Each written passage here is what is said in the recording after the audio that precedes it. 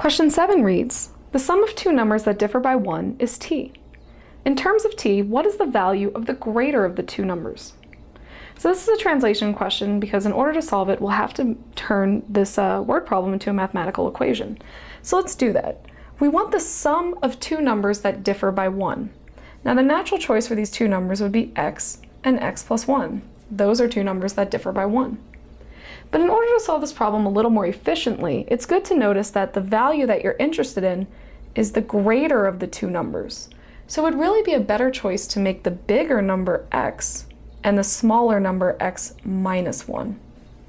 There's still two numbers that differ by x, I mean differ by 1, but that way when you solve for x, you're solving for the greater number, the one you're interested in. Okay, so we have our two numbers x and x minus 1. Now the sum of these two numbers is equal to t. And we want to know, in terms of t, what is the value of the greater of the two numbers? So pretty much we're solving for x.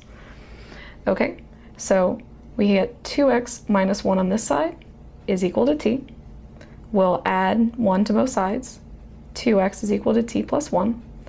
And we'll divide both sides by 2. x is equal to t plus 1 over 2. And that's the correct answer. C. t plus 1 over 2.